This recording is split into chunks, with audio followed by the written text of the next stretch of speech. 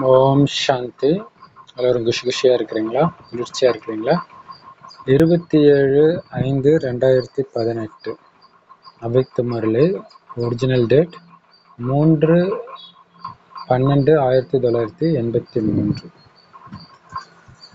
முரளியின் தலைப்பு சங்கமயுக பிராமணர்களுடைய சிரேஷ்ட பாக்கியம். இன்னைக்கு ரத்தின வியாபாரி பாபா தன்னோடு வியாபாரம் செய்யற குழந்தைங்களை பார்த்துட்டு இருக்கிறார். எல்லா குழந்தைங்களும் பாபா கிட்ட ஒப்பந்தம் செஞ்சிருக்கிறாங்க வியாபார ஒப்பந்தம். யாரு செஞ்சாங்க? உலகத்தின் கணக்குப்படி ஒண்ணுமே தெரியாத கல்லங்கப்படமற்ற குழந்தைங்க. ஆனாலும் இதே கள்ளங்கபடமற்ற குழந்தைங்க தான் சாதுரியமான விவேகம் நிறைந்த அப்பாவை அடையாளம் கண்டுக்கிட்டாங்க அப்ப அவங்க ஒண்ணும் தெரியாத வெகுலியா அல்லது சாமர்த்தியசாலியா அந்த குழந்தைங்க? மனிதர்கள் உங்களை ஒண்ணும் தெரியாத வெகுலின்னு நினைச்சிட்டு இருக்கிறாங்க. ஆனா அவங்கதான் வெகுளி பாவம். இப்படிப்பட்ட விவேகமான சாதுரியமான தந்தைய தெரிஞ்சுக்கிற புத்திசாலித்தனமே இல்லையே. அது உங்ககிட்ட தான் இருக்குது.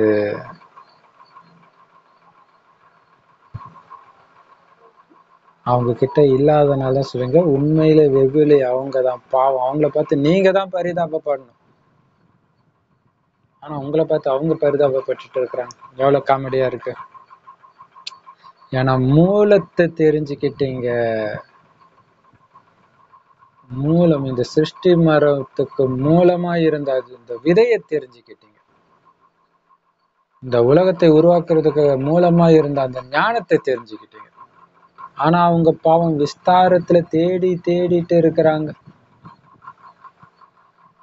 நீங்க ஒருத்தர் அடைந்து பல கோடி மடங்கு அடைஞ்சிட்டீங்க அவர்கிட்ட இருந்து. அவரை தெரிஞ்சுக்கிட்டதுனால பல கோடி மடங்கு அடைஞ்சிட்டீங்க. அவங்க கோடிக்கணக்கா தேடி தேடி தேடி எண்ணி எண்ணி அலைஞ்சிட்டே இருக்கிறாங்க.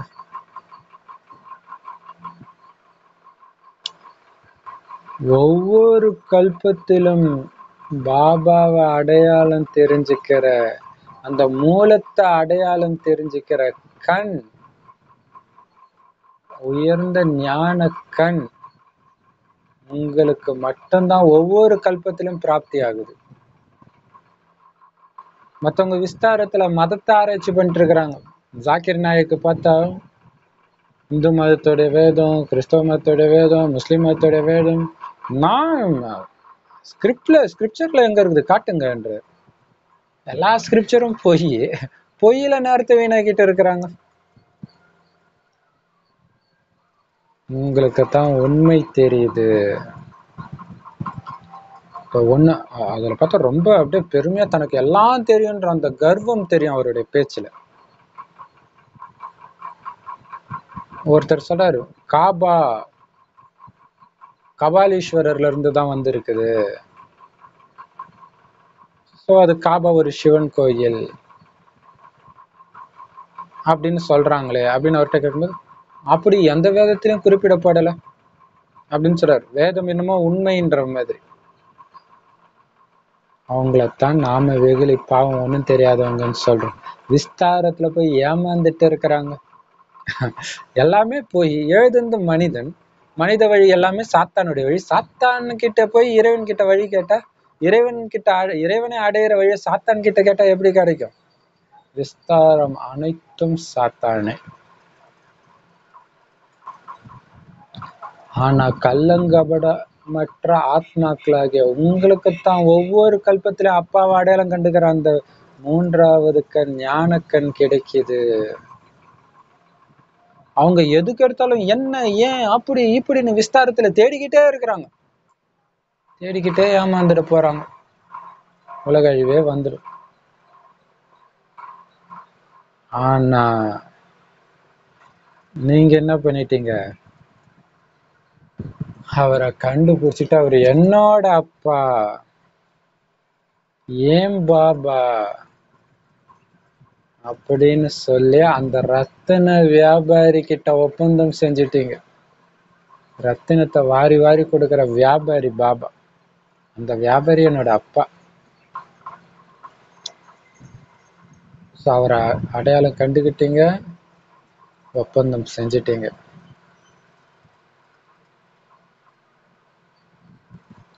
அவரை நீங்க ஞானக்கடல்னு சொல்லுங்க ரத்தின வியாபாரின்னு சொல்லுங்க.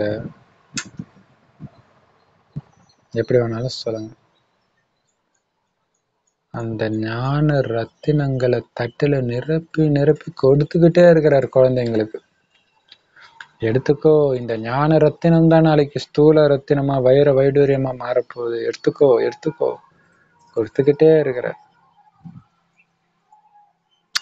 இது வேதத்தில் இருக்கும். கடல் தேவதை தட்டில் நிரப்பி வைர வைடூரியத்தை கொடுக்குற மாதிரி. அவர் பாபா கொடுக்குற அந்த ரத்தினங்களோட விளையாடுறீங்க. இதுதான் பிராமண வாழ்க்கை. ரத்தினங்களோட விளையாடுறீங்க. அந்த ரத்தினங்களின் மூலமா தான் நீங்க வளர்ந்துட்டே இருக்கிறீங்க. உங்களுக்கு பாலனையே அந்த ரத்தினங்கள் தான் பண்ணுது. நமக்கு உணவே அந்த ரத்தினம் தான் ஞான ரத்தினம். தங்க புஷ்பம் தின்னு தங்க பஸ்பம் சாப்பிட்டு அதிக நாள் வாழலாம் அப்படின்னு சொல்றாங்க இல்லையா? நாம ரத்தினத்தை சாப்பிடுறோம். ஆனா ஞான ரத்தினம். இதன் மூலமா தான் மரண மாற்ற பெருவாழ்வு அடையிறோம் ரத்தினத்தோடவே விளையாடுறோம். நமக்கு விளையாட்டு பொருளும் ரத்தினம் தான் நம்மளை வளர்க்குற உணவும் அந்த ஞான ரத்தினம் தான் நாம விளையாடுறதுக்கு யூஸ் பண்ற அந்த ஊஞ்சலும் ஞான ஊஞ்சல் தான் ஸோ திரும்புற பக்கமெல்லாம் ரத்தினமே ரத்தினம். ஸோ இந்த ரத்தினத்துடைய மகிமை தான் ரத்தினம் ரத்னா அப்படின்னு பேர் வைக்கிறாங்க. இல்லையா? எத்தனை ரத்தினங்கள் கிடைச்சிருக்குது? உங்களால என்ன முடியுமா? கணக்கு போட முடியுமா? அமிர்த வேலை கண்ணு திறந்த உடனே அப்பாவை சந்திச்சுக்கிட்டே ரத்தினத்தோட தானே விளையாடுறீங்க? ஸோ அதுதான் உண்மையிலே யோகம்ன்றது அமிர்தால ஏஞ்சி அப்படியே பாபா ஃபோட்டோவை மறைச்சு பார்த்துக்கிட்டே இருக்கிறது யோகம் கிடையாது. மைண்ட் பயங்கர பிரிஸ்காக இருக்கணும் என்ன பண்ண எடுத்த உடனே பாபா என்னென்னலாம் சொன்னார் அந்த ஞான பாயிண்ட்டை எடுத்துக்கிட்டு மைண்டுக்குள்ள அசை போட்டுக்கிட்டே இருக்கணும். ஸோ அதில் ஏதாவது ஒரு ப்ராக்டிஸ் பண்ணிக்கிட்டே அப்படியே பாபா பார்த்துக்கிட்டே பண்ணிக்கிட்டே இருக்கணும். ஸோ அதான் அமிர்த வேலை. கண்ணு திறந்த உடனே ரத்தினத்தோட விளையாடுறீங்க. ஞான ரத்தினத்தோட.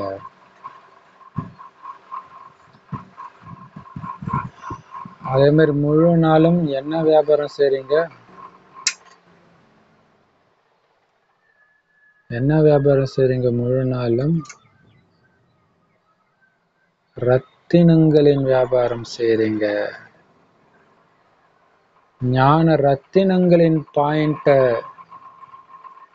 மனசுக்குள்ள அசை போட்டுட்டு இருக்கிறீங்க இல்லையா?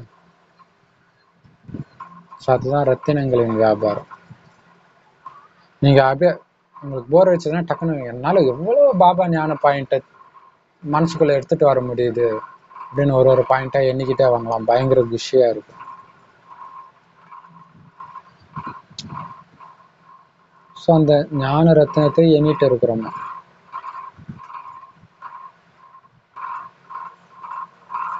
ஸோ பாபா மட்டும் இல்ல நீங்களும் ரத்தினங்களின் வியாபாரி தான். ரத்தினங்களின் சுரங்கங்களின் எஜமானர்கள் தான் நீங்க.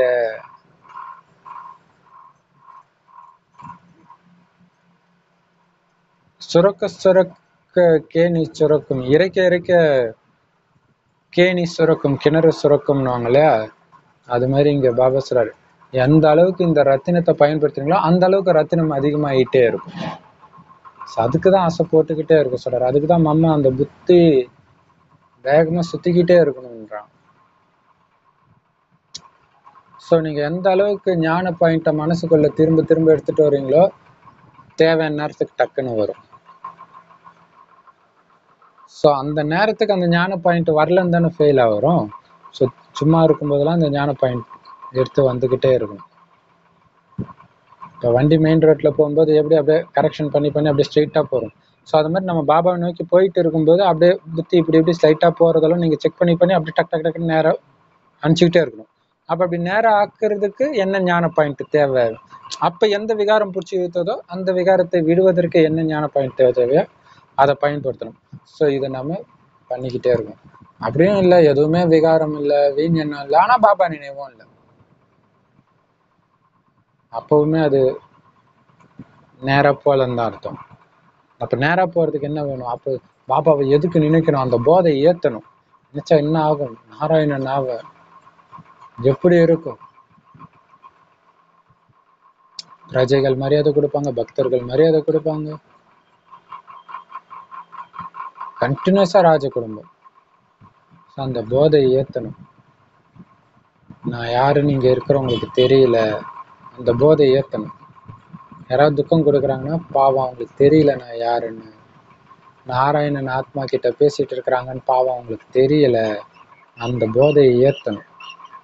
ஸோ அப்போ பாபா கிட்ட போய் புத்தி இணையும். அதான் பாபா சொல்ற எந்த அளவுக்கு இந்த ரத்தினத்தை நீ பயன்படுத்துற அந்த அளவுக்கு இது அதிகமாயிட்டே இருக்கும். ஸோ இது உங்களுக்குள்ள ஆசைப்படுறதும் சரி மற்றவங்களுக்கு இந்த ஞானத்தை பற்றி சொற்பொழிவுல எப்படியாவது சொல்லிக்கிட்டே இருக்குது. அதுல அதிகமாயிட்டே இருக்கும்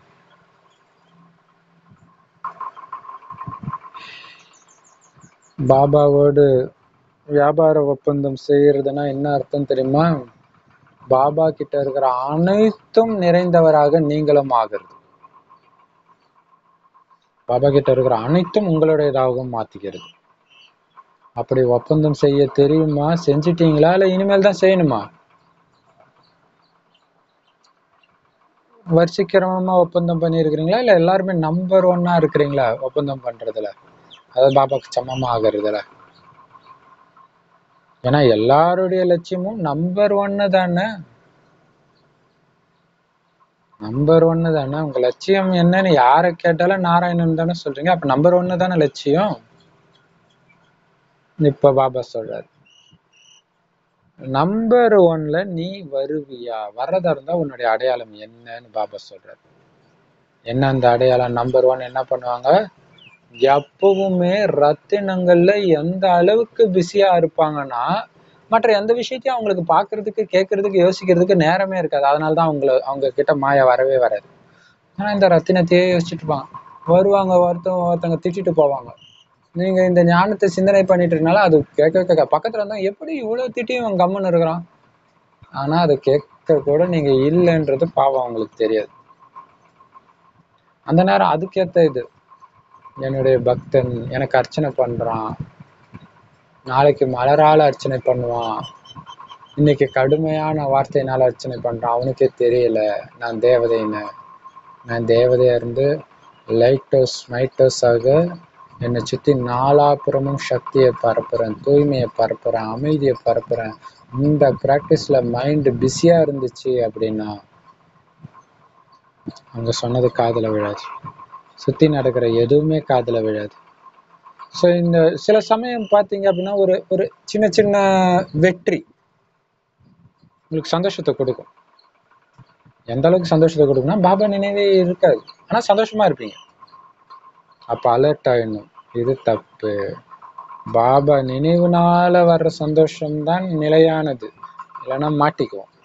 இல்லை நம்ம கண்ட்ரோலுக்கு மீறி புத்தின்ற வண்டி போகுதுன்னு அர்த்தம். நம்ம கண்ட்ரோலுக்கு எடுத்துட்டு வரணும்.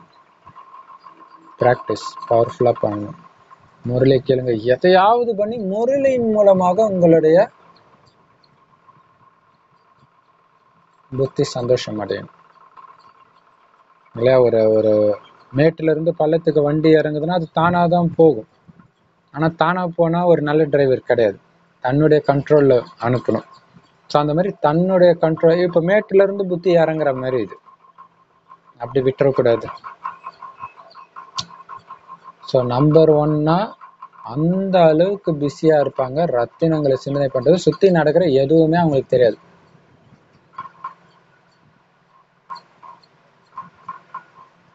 ஒரு பாட்டு ஒன்று வரும் இரவா பகலா என்னை ஒன்றும் செய்யாது மழையா வெயில ஆனா உன்னுடைய நினைவு மட்டும் ஏதோ செய்யுது அப்படின்னு ஒரு பாட்டு வரும் லவ் வச்சு. அந்த மாதிரி பாபாவுடைய நினைவு இருக்கும். வெயில் அடிக்கிறதும் தெரியாது மழை பெய்யறதும் தெரியாது விடியறதும் தெரியாது. எந்த நேரமும் அந்த பாபா நினைவு பாபா நினைவு பாபா கூட பேசுறது பாபா கூட கொடுத்தோன்னு நடத்துறோம் வேற எதுவுமே தெரியாது. அதுதான் நம்பர் ஒன் பாபாவோட அனைத்து உறவு பாபா கூட பேசுறது ஞான ரத்தினங்களை சிந்தனை பண்றது. இதுலயே சக்தியின் சொரூபமா சொன்னது தானே பாபா.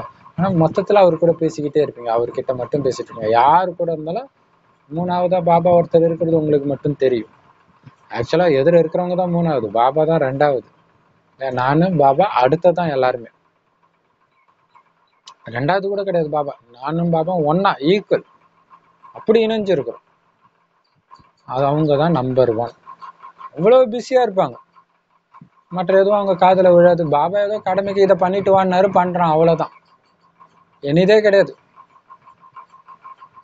யாரோ ஒருத்தவங்க பக்கத்து வீட்டுல குழந்தை விட்டுட்டு போயிட்டாங்களா அவங்களுக்கு கொஞ்சம் சாப்பாடு போடுங்கன்னா போய் சாப்பாடு போட்டு வருவீங்க. அன்பெல்லாம் இருக்காது. சரி அன்பு வேணா இருக்கும் பற்று இருக்காது. அந்த மாதிரி தான் உங்க குழந்தைங்க பார்த்துக்கணும் ஏன்னா இப்ப நம்ம குடும்பத்துல பாபா மட்டும்தான் இருக்காரு. அவரே கணவனா அவரே அப்பாவா அவரே குழந்தையா இருக்காரு. அவருக்கு அன்பா உபசரிங்க. மத்தவங்க எதுவுமே நம்மளது கிடையாது. ஸோ இதுவும் ஒரு ஞான பாயிண்ட் தான். இல்லையா? இன்னொரு முக்கியமான விஷயம் இந்த ப்ராக்டிஸ் எப்போ வரும்னா முரளியை வந்து நீங்க ஒரு தடவை ரெண்டு தடவை மூணு தடவை பல தடவை கேட்கும்போது தா இது மட்டுமே மைண்டுக்குள்ள போக தானாகவே அது வெளில வரும். இப்ப நிறைய விஷயங்கள் உள்ள போகிறதுனால என்ன ஆகும்? அது வெளியே வர ஆரம்பிச்சிடும் ஸோ மற்ற விஷயங்கள் உள்ள போறதை கட் பண்ணணும். தவிர்க்க முடியாத காரணத்தினால மற்ற விஷயங்கள் கேட்க கேட்டே ஆகணும் அப்படின்ற எண்ணம் வரும்போது ஸோ பாபாவுடைய நினைவு அதிகப்படுத்தணும். பாபாவுடைய ஞான பாயிண்ட் அசைப்படுற வேகத்தை அதிகரிக்கணும். அப்போ உள்ள போகாம இருக்கும் ஸோ அது அது நமக்கு ஞாபகம் இருக்கணும்னா சும்மாவே அசை போட்டுக்கிட்டே இருக்கணும்.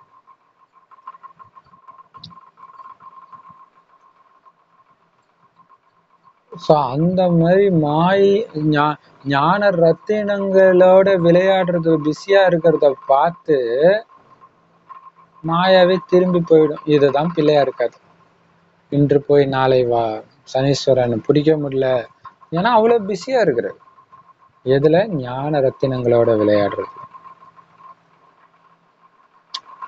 அதனால மாயாவை கஷ்டப்பட்டு விரட்டுறதுக்கான கடின முயற்சி செய்ய வேண்டியதே இருக்காது. பாருங்க யோகம்ன்றது அந்த ஞான ரத்தினத்தோட விளையாடும் போதுதான் பக்காவா இருக்கும். அப்பதான் நமக்கு அந்த பவரும் கிடைக்கும்.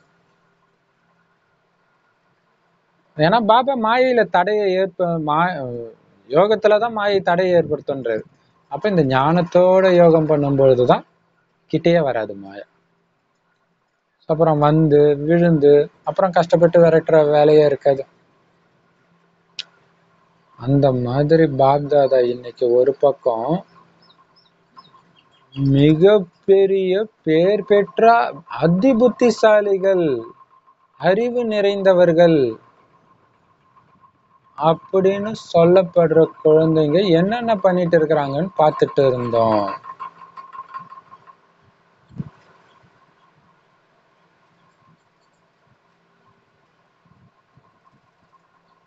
அவங்க கிட்ட நிறைய விஷயங்களை தெரிஞ்சிருக்கிறாங்க அவங்க. ஆனா ஒரு விஷயத்த மட்டும் தெரிஞ்சுக்கல. ஆனா அதுக்கு நேர்மாறா பிராமண குழந்தைங்களை பாக்குற நேர்மாறா இருக்கிறது. அந்த குழந்தை எல்லாத்தையும் தெரிஞ்சிருக்கு. ஒரே ஒரு விஷயம் தான் தெரியல. அதனால ஃபெயில் நமக்கு எதுவுமே தெரியாது. பாபா மட்டும்தான் தெரியும். அதனால பாஸ். செம சூப்பர் எவ்வளவு பெரிய வித்தியாசம் பாருங்கன்றார் பாபா. பார்த்து பார்த்து பாப்தாதா பாட்டு பாடுறாராம். ஆக்சுவலா அதே பாட்டை தான் நீங்களும் பாடுறீங்களாம் பாப்தாதாவை நினைச்சு. அதனால அந்த பாட்டு உங்களுக்கும் பிரியமானது பாபாவுக்கும் பிரியமானது பிரம்மா பாபாவுக்கும் ரொம்ப ரொம்ப பிரியமான பாட்டு. என்ன அந்த பாட்டு? பாப்தாதா ரெண்டு பேரும் குழந்தைங்களை பார்த்து பாடிட்டு இருந்தாங்க. பிரம்மா பாபாவும் ரொம்ப மகிழ்ச்சியில அதை பாடிட்டு இருந்தாரு. என்ன அந்த பாட்டு? எவ்வளவு வெகுளியான எவ்வளவு அன்பான இனிமையிலும் இனிமையான குழந்தை என்னோட குழந்தை. கள்ளங்கவடமற்ற குழந்தை. ஏன்னா நீங்க பாபாவை அப்படித்தானே சொல்றீங்க? கள்ளங்கபடமற்ற பாபா போலாநாத் பாபான்னு. பாபா சொல்றாரு போலாநாத் பச்சே போலாநாத் குழந்தைங்களே. பலனத்தினா கள்ளங்கபடமற்ற வெகுளியான இல்லையா? அந்த அந்த அந்த கள்ளங்கபடமற்ற தன்மையில் உள்ள அட்ராக்ஷனை வந்து நாம பார்க்கலாம். நிறைய படங்கள் வந்து ஹீரோ அல்லது ஹீரோயின் பைத்தியமா நடிக்கிறதுனால செம ஃபேமஸா ஓடுனதுக்கு காரணம் அந்த அட்ராக்ஷன் அந்த அந்த வெகுளித்தனம் மக்களுக்கு பிடிச்சிருக்குது. இல்லையா? மூன்றாம் பிறை குணா இல்லையா? ஸோ அந்த அந்த ஈர்ப்பு கள்ளங்கபடமற்ற தன்மைக்கு அந்த ஈர்ப்பு இருக்கு. அதுதான் பாபாவுக்கும் பிடிச்சிருக்கு. அந்த மாதிரி என் குழந்தை ஆயிட்டாங்க. என் குழந்தைக்கு பாபா பாபா பாபா தெரியும். லூ சட்டம்? காமத்தை விடுன்ற கறிமீன் சாப்பிட மாட்டேன்ற வெங்காயம் பூண்டு சாப்பிட மாட்டேன்ற. சொந்தக்காரங்க சொல்லுவாங்க கூட ஃப்ரெண்ட்ஸ் சொல்லுவாங்க வேலை பார்க்குறவங்க சொல்லுவாங்க. பஞ்சாயத்தே வைப்பாங்க? சிரிச்சுக்கிட்டே இருக்கும் பாபா சொல்றது மட்டும் செஞ்சுட்டு போயிட்டே இருக்கும் சரியான மென்டல் இப்படி இருக்குது அப்படின்னு அவங்க சொல்றாங்க. அதாவது ஒன்றும் தெரியாதவங்க அந்த மாதிரி குழந்தைங்களை தான் பாபாவுக்கு பிடிக்கும். இல்லையா?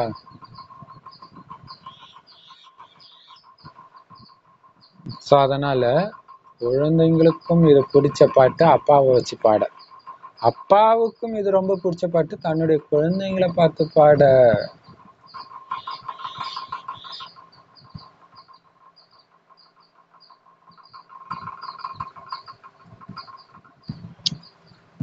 பாபா சொல்றாரு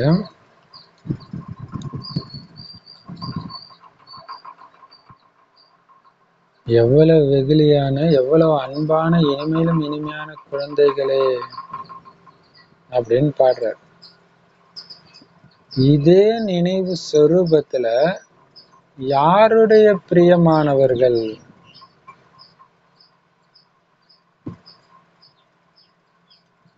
இதுல ஒரு முக்கியமான விஷயம்.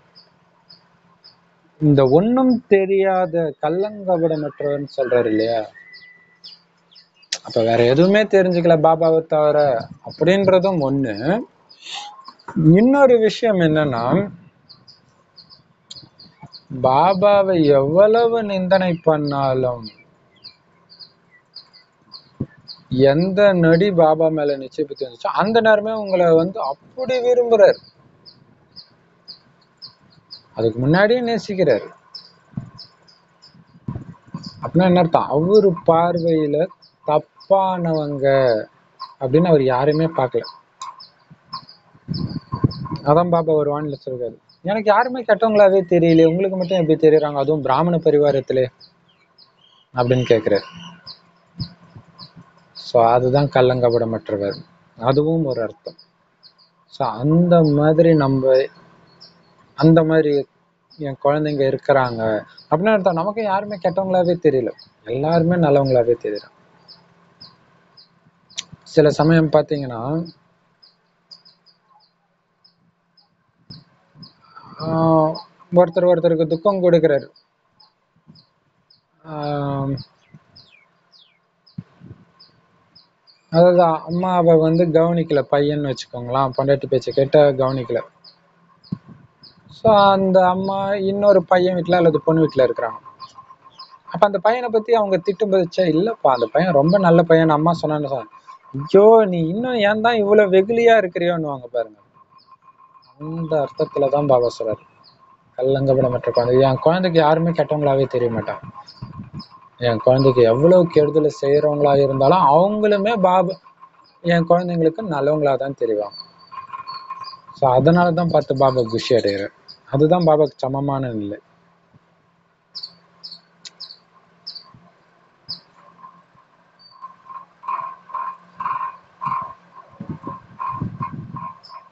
பாபா சொல்றாரு.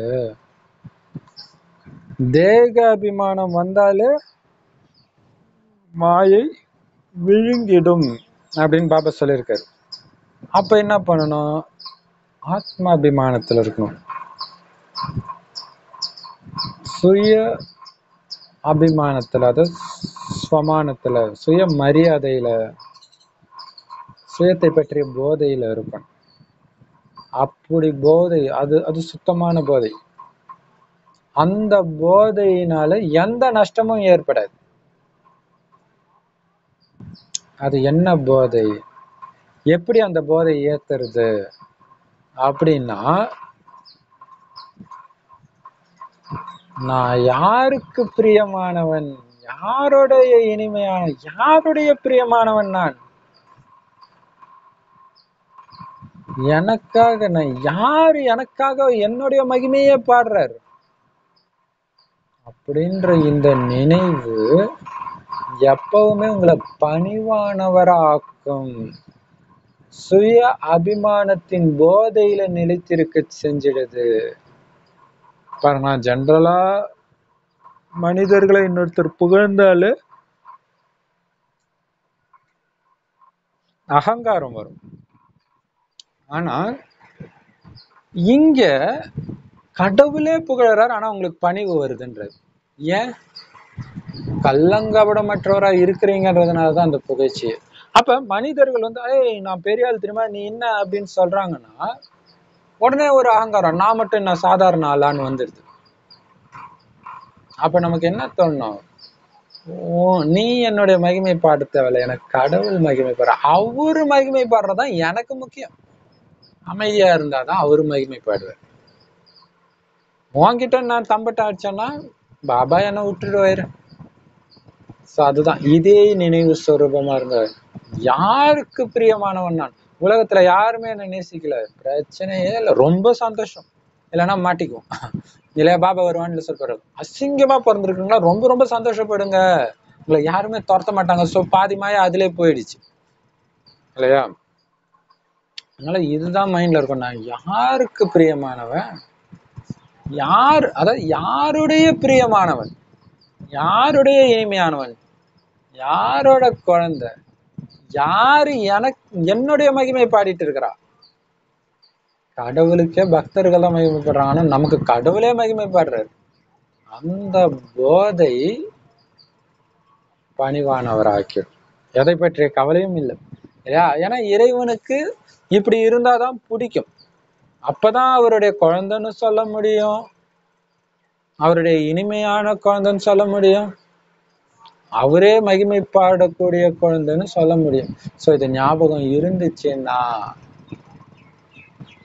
நான் சுய அபிமானம் நம்ம நம்மளை பற்றி உண்மையான அபிமானம் சுத்தமான அபிமானம் அந்த போதையில இருப்பேன் இருப்பீங்க. இந்த போதையில நஷ்டமே கிடையாது. பாபா சொல்றாரு அரை கல்பம் பகவானுடைய மகிமையை பாடலா பாடினீங்களே இப்ப பகவானே உங்களுடைய பாட்டை பாடிட்டு இருக்கிறாருன்னா அந்த மாதிரி போதை இருக்குதா? இருக்குதா? அவங்க வந்து மனிதர்கள் மத்தியில பெரிய ஆள் விஐபி விஐபி பத்தி எல்லாம் பாபா சொல்றாரு சூப்பரா இப்பதான் தெரியுது விஐபி மீட்டுன்னு அதுக்கு ஏன் சொல்றாங்கன்ட்டு இல்லையா? ரெண்டு பக்கத்து குழந்தையும் பாக்குறான். அந்த பக்கத்து அதிபுத்திசாலிகளை பாக்குறான். இந்த பக்கம் ஒண்ணுமே தெரியாத குழந்தைங்களை பாக்குறாரு. ஒண்ணுமே தெரியாத குழந்தைங்களுடைய மகிமையை இறைவன் பாடுறார். அதனால ரெண்டு பக்கத்தின் குழந்தைங்களை பார்த்து பாபாவுக்கு இறக்கும் அன்பு ரெண்டுமே வருது.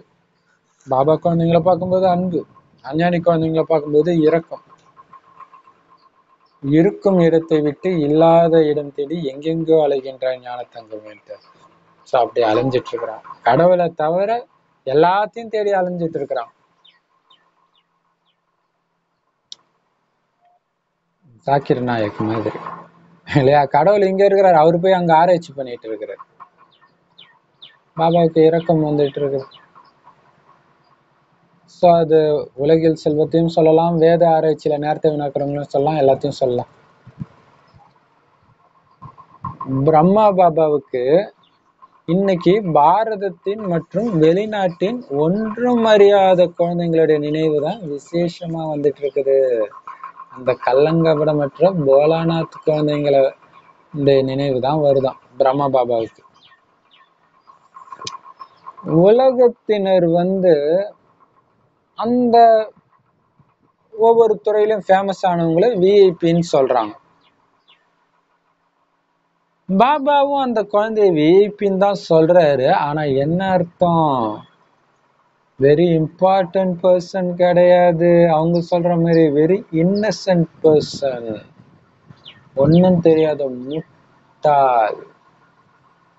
இல்லையா? இந்த ரூபத்துல தான் பார்த்துட்டு இருந்தார். எவ்வளவு பெரிய விஷயம். இது ஒரு தடவை ட்ரெயின்ல போகும்போது சேவைக்கு ஒரு அஞ்ஞானி ஆத்மாவுடைய உதவி தேவைப்பட்டது. ஸோ அவருக்கு இந்த ஞானத்தை சொல்றோம். நோட்டீஸை கொடுத்து சொல்றோம். அவர் பாட்டுக்கு அப்படியே கேட்டுட்டு அப்புறம் சொல்கிறார் அவர் ஒரு கார்டு கொடுக்குறாரு. கொடுத்து நான் இந்த ஒர்க் பண்ணுறேன் இது இது பண்ணுறேன் இதுவும் சேர்த்து பண்ணுறேன் மாசத்துக்கு எனக்கு முப்பதாயிரம் வருது. அப்படின்னு பெருமை அடிக்கிறார். இங்க எவ்வளவு பெரிய ரத்தினத்தை கொடுக்குறோன்றதே அவருக்கு தெரியல. அதான் பாபா சொல்ற very innocent person very innocent person ஒண்ணுமே தெரியாது அந்த ரூபத்துல தான் அவங்கள பாக்குறாரு பாபா. உண்மையிலே அனைத்தும் தெரிந்தவர்கள் நீங்க தான் ஒண்ணுமே தெரியாதவங்க அவங்க.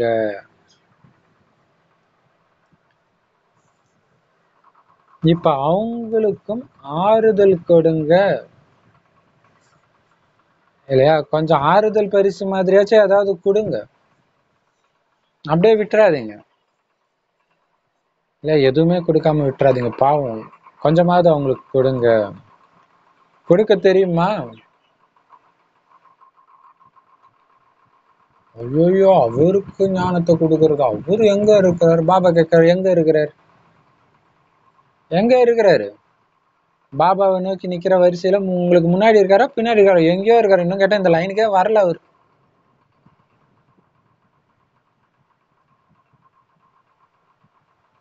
அப்படின்னு பாபா சொல்றாரு. ஸோ அவங்களுக்கு கொடுங்க. எவ்வளவு பெரிய பதவியில இருக்கட்டும். ஒவ்வொரு துறையிலும் உச்சத்துல இருக்கட்டும். இந்த ஞானம் அவருக்கு கொஞ்சம் கூட தெரியாது. கொடுங்க. பயப்படாதீங்க. இன்ஃபீரியாரிட்டி காம்ப்ளெக்ஸ் தாழ்வு மனப்பான்மை வேண்டாம். கொடுங்க. உங்களுக்கு தெரியும். வாங்குறது வாங்காதது அவங்க அதிர்ஷ்டம். உங்களை அவமானப்படுத்தி கூட அனுப்பட்டும். ஆனா நீங்க கொடுங்க. முயற்சி பண்ணுங்க. முயற்சியை பண்ணாம நீங்களும் அவங்களாம் வாங்க மாட்டாங்க அவங்களாம் போக மாட்டாங்க அவங்களாம் பண்ண மாட்டாங்க அவங்களாம் பண்ண மாட்டாங்க. கிடையாது. இப்ப எல்லாரும் பண்ணிட்டு இருக்கிறாங்களே. இல்ல இப்ப இப்ப பாத்தீங்கன்னா அதிக சேவை வந்து எதெல்லாம் பண்ணவே வேண்டாம்னு ஒதுக்கி வச்சிருந்தாங்களோ அதைத்தான் வெளியில இருக்கிற குழந்தைங்க பண்ணி பயங்கர சக்சஸா பண்ணிட்டு இருக்கிறாங்க. பண்ணுங்க கொடுங்க. இல்லையா? பணக்காரங்களாம் கேட்க மாட்டாங்க. கொடுங்க கேக்குறாங்க கேட்கல அது வேற. கொடுங்க. கேட்கலன்னா அதுக்கப்புறம் ஞானம் சொல்லிக்கோங்க உங்களுக்கு ஆறுதல் சொல்லிக்கோங்க ஓ அதனால தான் அப்படின்ட்டு. அதுக்கு முன்னாடியே விட்டுறக்கூடாது. பணக்காரங்க அரசியல்வாதி செலிபிரிட்டிஸ் அதே மாதிரி இருக்கிறவங்க விபச்சாரிகள் அரவாணிகள் கொடுத்துக்கிட்டே இருங்க. கொடுக்குற முயற்சி பண்ணிக்கிட்டே இருங்க. உலகம் ஃபுல்லா எங்க ஊர் எங்க தெரு மட்டும் கிடையாது. உலகம் ஃபுல்லா எங்கெல்லாம் வாய்ப்பு கிடைக்குதோ கொடுத்துக்கிட்டே இருங்க. அந்த மாதிரி விசேஷமா அமைதியின் சக்தியை அந்த ஆத்மாக்களுக்கு கொடுங்க. அவங்களுக்கு ஏதாவது ஆதரவு புது வழி கிடைக்கணும் அப்படிங்கிற எண்ணம் எழுது. இப்ப அந்த விருப்பம் அவங்களுக்கு உருவாகிட்டு இருக்குது.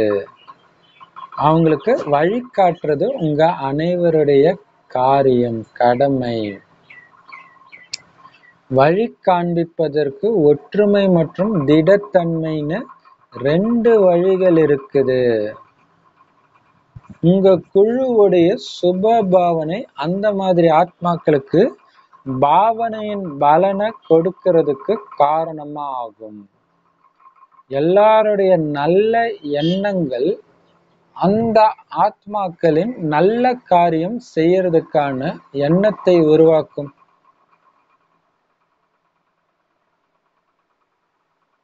இதே விதியை இப்பொழுதிலிருந்து கடைபிடியுங்கள் இருந்தும் பெரிய காரியத்தின் வெற்றி எப்பொழுது அனைவரின் நல்ல எண்ணங்களின் ஆகுதி போடப்படுமோ அப்பொழுதுதான் ஆகும் புரிஞ்சுதா? பாப் தாதாவோ எல்லாருக்காகவும் எந்த ஒரு குழந்தையுமே வஞ்சிக்கப்பட்டுடக் கூடாதுன்னு தான் சொல்றாரு. நீங்களும் அனைத்தும் நிரம்பியவர்களா ஆகிட்டீங்க தானே? அப்ப கொடுங்க. எப்போ கொடுப்பீங்க? கொடுங்க. எதுக்கு நிரப்புனாரு? கொடுக்கறதுக்கு தானே நிரப்புனாரு? நீங்க கொடுக்கலன்னா உங்களுக்குள்ள நிரம்பலன்ற. ஒண்ணுமே இல்லைன்ற.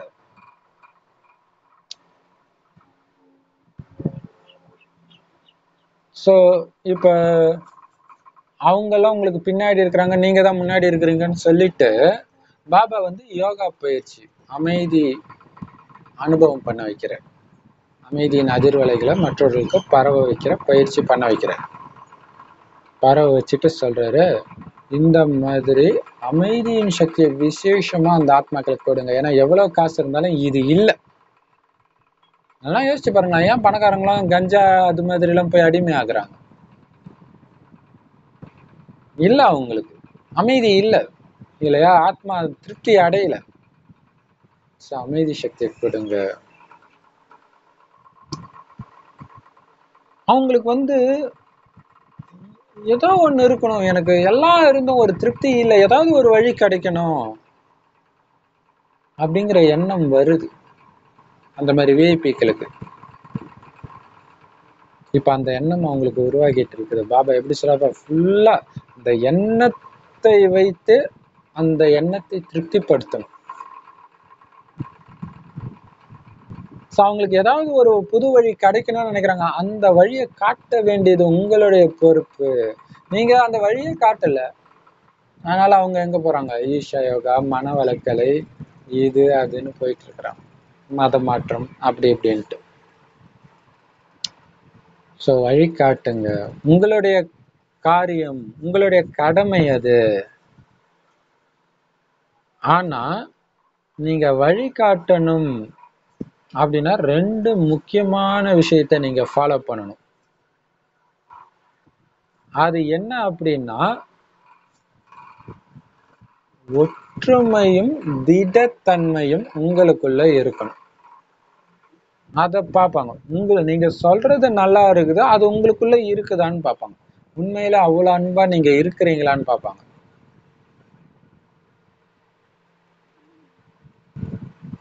அது ரொம்ப ரொம்ப முக்கியமான விஷயம்.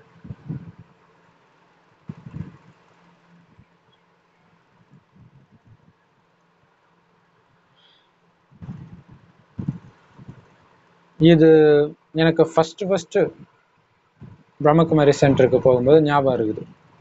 ஃபர்ஸ்ட் ஃபர்ஸ்ட் போற சென்டருக்கு அப்போ வந்து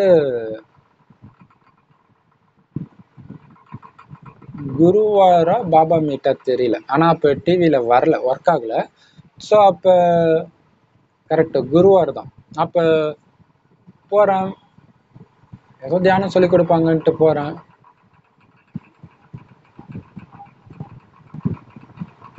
பார்த்தா பாபா பாப்தாதா பாபா ரூம்ல பாப்தாதாவுக்கு அவ்வளவு சூப்பரா அலங்காரம் பண்ணி பூவெல்லாம் வச்சு அங்க யோகா பண்ண போன்னு அனுப்புகிறாங்க யோகாவே பண்ண தெரியாது. கற்றுக்கு தானே வந்தோம். என்ன இப்படி அனுப்புறாங்க சரி போயிடுறான்.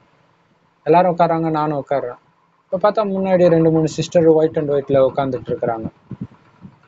சரண்டர் சிஸ்டர் சின்ன சின்ன பொண்ணுங்க தான். அப்போ ஒண்ணுமே புரியல. ஆனா ஒரு அந்த ஒரு அமைதி வந்து பிடிச்சி இழுக்குது அந்த இடம். இவ்வளோ சூப்பராக இருக்குது இந்த இடம். ஏய் ஆனால் யாரும் எதுவும் சொல்லலை. வாயெல்லாம் திறக்கல. கம்முன்னு வராங்க உட்காடுறாங்க அப்போ ஒரு பிரதர் ஏதோ ஒண்ணு கூப்பிடுறாரு. அப்படியே ரொம்ப பொறுமையா கூப்பிட்றாரு. போய் சிஸ்டர் வராங்க. அவர் ஏதோ எடுத்துட்டு வர சொல்கிறார் போய் அமைதியா போய் எடுத்துட்டு வராங்க. திருப்பி நான் எடுத்துட்டு வர மாட்டேனோ? இது இல்லை. எதுவுமே அப்படியே அமைதியா. எப்படி அவங்க காதில் வந்து அது ஒரு சுவிட்ச் போட்ட மிஷின் பாபா சொல்ற ஃபரிஸ்தா மாதிரி. அந்த மாதிரி இருந்துச்சு. ஸோ இதுவுமே அந்த ஒற்றுமை தான் அங்க போய் இது இப்ப முதல் நாள் போகும்போது அவங்களே கண்ணப்பன ஒரு சாதாரண கலியுக அப்ப கலியுகத்துடைய எந்த விதமான சமஸ்காரமும் அங்க வெளிப்படல. அதுதான் பிடிச்சி இழுக்குது. அதுதான் அந்த சக்தியை கொடுக்குது.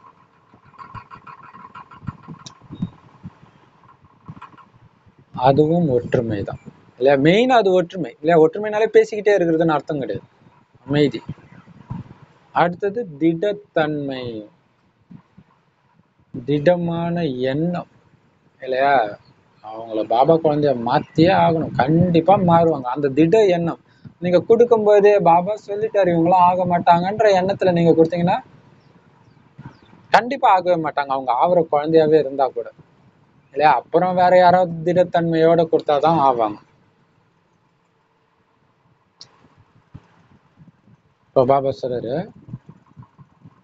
ஸோ ஒற்றுமை திடத்தன்மைன்னு ரெண்டு வழி இருக்குது அவங்களுக்கு இந்த வழியை நீங்க காட்டுறதுக்கு.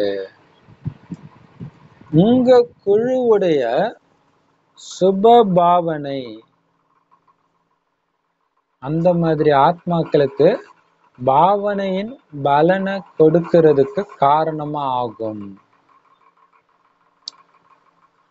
அப்ப அவங்க என்ன பாவனை வைக்கிறாங்க? ஏதோ ஒரு புதுசு அனுபவம் ஆகணும் அனுபவம் ஆகணும் அப்படின்ட்டு தான் வரார். அப்ப அந்த குழுவுல இருக்கிறவங்க எல்லாரும் சுபபாவனை. பாருங்க தனி ஒரு ஆளு கிடையாது சுபபாவனை. அதுதான் ஒற்றுமைன்றது. ஒற்றுமைன்னு சொல்றது மெயினா அதுதான் இல்லையா?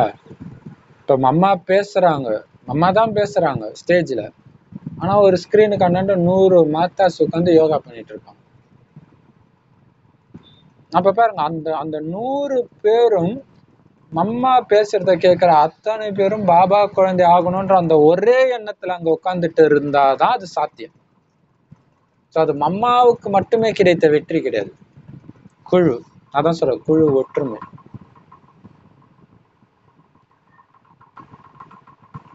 ஏன் மம்மா இப்படி பேசிட்டு இருக்காங்க இப்படி பேசலாமே இது என்ன அவங்களுக்கு புரியவா போகுது? இப்படி எல்லாம் யோசிச்சீங்கன்னா நீங்களே அங்கே வாயுமண்டலத்தை கெடுத்துட்டு இருக்கிறீங்கன்னு அர்த்தம்.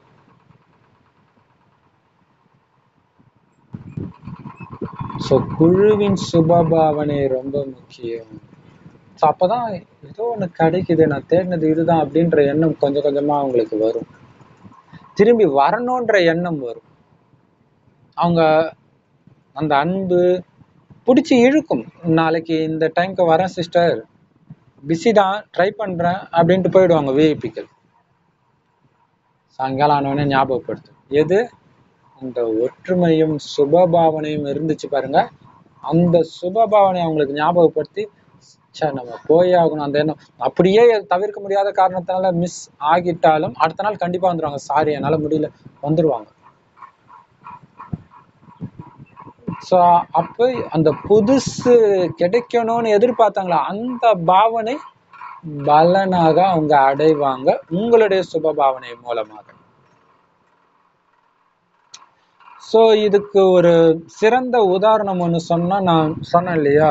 இப்போவுமே சொல்கிறேன் இப்போ ஆர்டிக்கல் புக்ஸில் எழுதலாம். நிறையா. ஆன்மீக புஸ்தகமாக தான் இருக்கணும்னு அவசியம் இல்லை. குமுதா ஆனந்த விகடன் இது மாதிரி நிறைய இருக்குல்ல.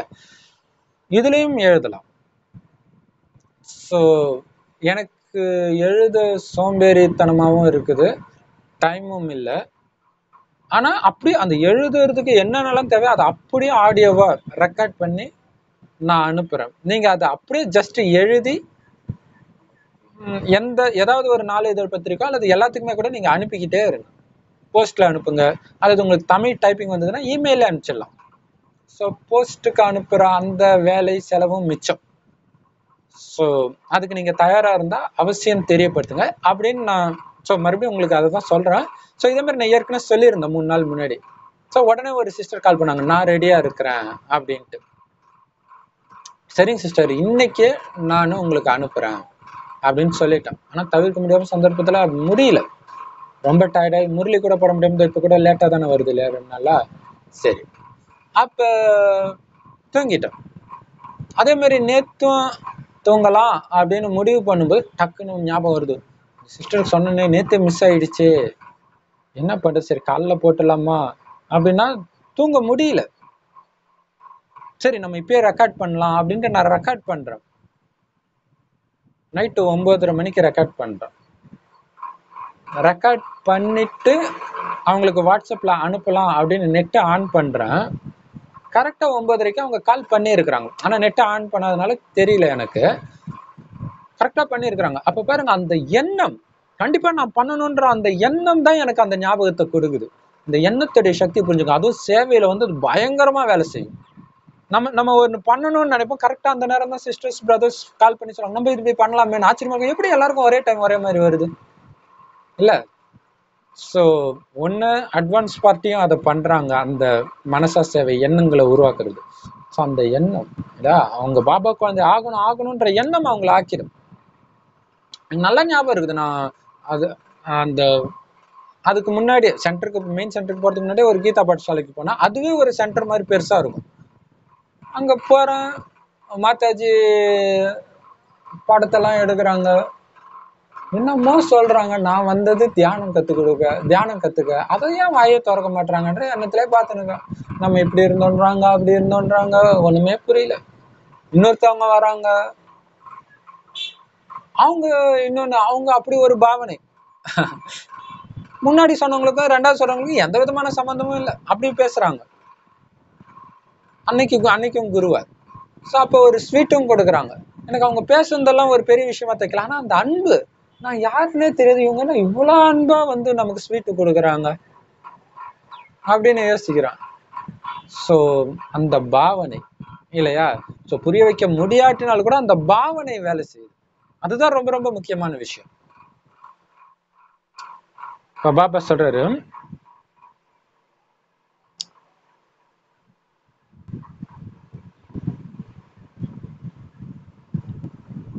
ஸோ புதுசு அந்த விஐபிக்கள் வராங்க இல்லையா? அவங்களையும் பாபா குழந்தையாக்கி பாபாவுடைய சேவை நல்ல காரியத்தை செய்ய வைக்கக்கூடிய எண்ணத்தை அவங்களுக்கு எப்ப உருவாக்கும்னா உங்க அனைவருடைய நல்ல எண்ணங்கள். அந்த எண்ணங்களின் சக்தியை உருவாக்குறது தான் பாபா பண்றதே இங்க. அந்த எண்ணங்களின் சக்தியை குடிக்கிற மகா விரோதி ஐந்து விகாரங்கள். அதனாலதான் அதை தூக்கி கடாசுன்றாங்க அதுல நம்பர் ஒன் எதிரி காமம். இல்லையா? இப்போ பாபா சொல்றாரு.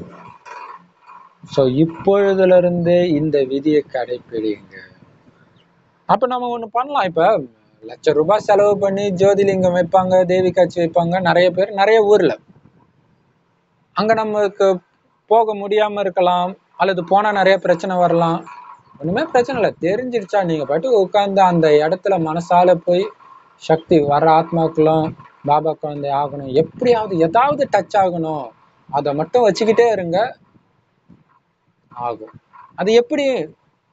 இல்லையா இப்ப நம்ம உடம்புல இருந்து ஆஹ் உடல் இயக்குறோம் இல்லையா? இப்ப பாத்ரூம் போறதுனால அந்த எண்ணம் வந்து அது இயக்குது. எப்படி இயக்குதுன்றது நமக்கு தேவையே கிடையாது. ஆனா எண்ணம் தான் இயக்குது.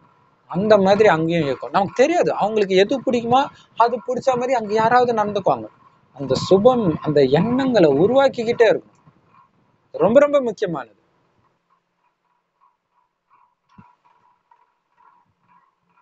ஸோ இந்த விதியை இப்பொழுதுல இருந்தே கடைபிடிங்க கடைசியிலலாம் இந்த சேவை தான் நடக்குமே பயங்கரமா இல்லையா? ஸோ இப்ப பாத்தீங்கன்னா நிறைய பேர் சேவை செய்யறாங்கல்ல தடையும் வரும் எல்லா இடத்துலயும். பட் அந்த தடையை மீறி சேவை நடக்கிறதுக்கு காரணம் வந்து நம்மளுடைய முயற்சி மட்டும் கிடையாது. இந்த மாதிரி மனச சேவை பண்ணி இன்னும் இன்னும் பெரிய காமெடி என்னன்னா நமக்கு தடை போடுறவங்களே அமிர்த வேலை யோகா பண்ணுவாங்கல்ல உலகம் ஃபுல்லா சேவை அதுவே நமக்கு ஹெல்ப் பண்ணும். அதான் ஆச்சரியம். ஸ்தூலமா அவங்கள எது அவங்க நம்மளை எதிர்ப்பாங்க ஆனா அவங்க பண்ற மனசா சேவை நமக்கு ஹெல்ப் பண்ணும். அதுதான். சோ அந்த விதியை இப்பயே உருவாக்குங்க.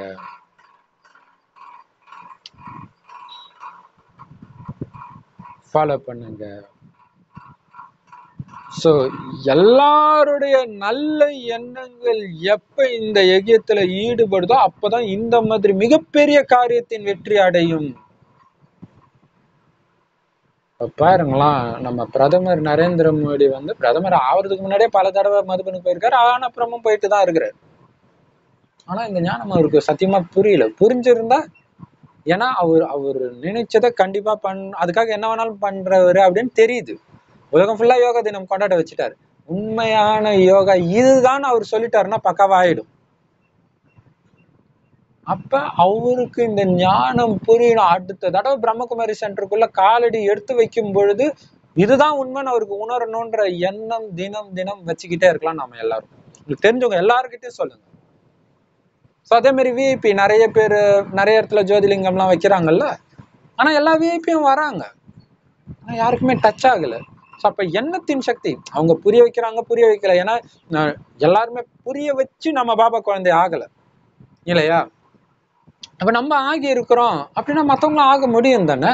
இப்போ எண்ணத்தின் சக்தியை அதிகப்படுத்தும் பயங்கரமா வைக்கணும் அது.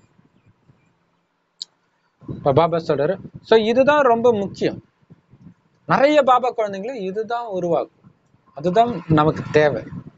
இப்போ பார்த்தீங்கன்னா ஒரு சிஸ்டர் பாத்தீங்கன்னா இப்போ இன்டர்நெட்ல வந்து பயங்கரமா சேவை செஞ்சுட்டு இருக்கிறாங்க அவங்க வந்து தீவிரமான பிள்ளையார் பக்தர். ஸோ அவங்க ஒரு டைம் பிள்ளையாரப்பா எது உண்மையான வழி? நீ தான் காட்டணும். அப்படின்ட்டு கண்ணை திறந்து பார்க்குறாங்களாம் பார்த்தா வீடியோ வந்து நிற்கிது ஜென்ரல் வீடியோ வந்து நிற்கிது பாபா சம்மந்தப்பட்ட வீடியோ ஸோ அதை பார்த்து டக்குன்னு பாபா குழந்தை ஆயிட்டாங்க. ஸோ அப்போ அவங்களும் அதுக்கு தயாராகிறாங்க. அதே நேரத்துல அந்த நாட்டை சார்ந்தவங்க செய்து யோக பலமும் அதுக்கு. அந்த நாட்டை சார்ந்தவங்க இல்லை. ஏன்னா நம்ம சூக்ஷ்மவாதனத்துல இருந்து சக்தி கொடுக்குறோம்ல. ஸோ யாரு கொடுக்கறதும் அந்த காரியத்தை பண்ணுது. ஸோ அது அதுக்கு முக்கியம். இல்லையா? இதுக்கு முன்னாடி நீங்க கள்ளங்கபடமற்றவரா இரு இருக்கிறீங்கன்னு புகழ்ந்தார். ஸோ கள்ளங்கபடமற்றவரா இருக்கிறவங்களால தான் இந்த எண்ணமும் வைக்க முடியும்.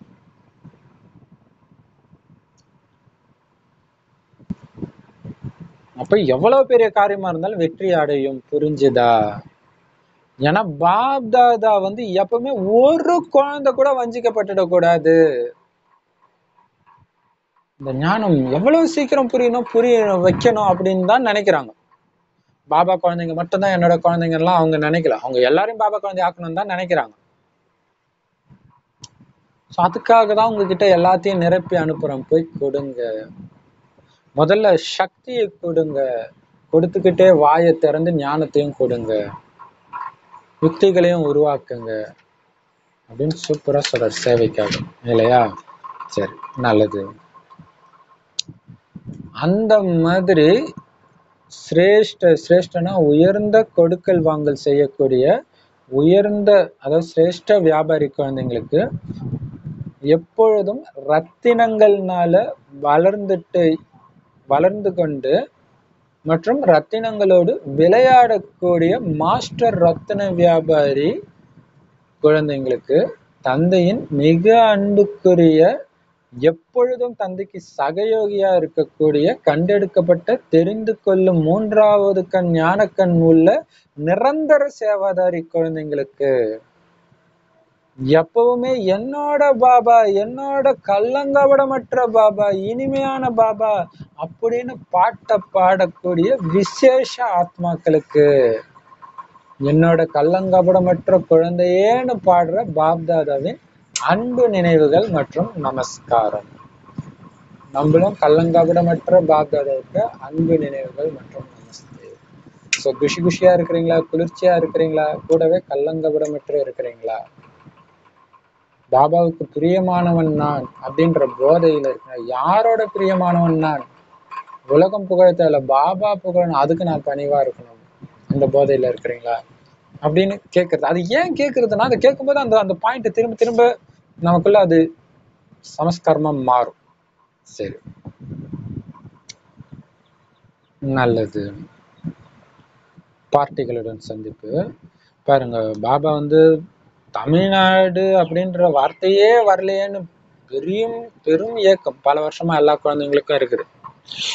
இல்லையா? முரளியில ஏன் பாபா தமிழ்நாடுனே சொல்லவே மாட்டாருன்னு ஸோ அந்த ஆசை இன்னைக்கு நிறைவேற்றுறாரு. தமிழ்நாட்டில் வசிக்கிறவங்களோட சந்திப்பு. சூப்பராக கேட்குறாரு பாரு. ஆக்சுவலாக யார் கேட்டாலும் பாபா நம்மள கேட்கிறாருன்னு தான் நம்ம புரிஞ்சுக்கணும். ஆனால் இப்போ கரெக்டாக நம்மளையே பார்த்து கேட்குறாரு எல்லாரும் ஊக்க உற்சாகத்துல இருக்கிறீங்க தானே? எப்படி பாபா வெளிப்படுத்துன்ற ஒரே ஊக்க உற்சாகம் தானே உங்க எல்லார் மனசுலயும் இருக்குது?